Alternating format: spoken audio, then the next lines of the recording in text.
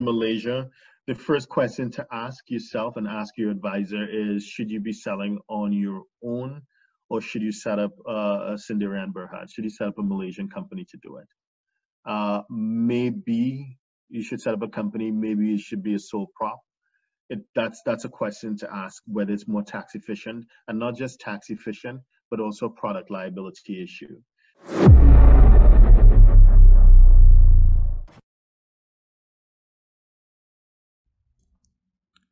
Please subscribe, like, share, and comment below. Our books and upcoming event are available at htj.tax.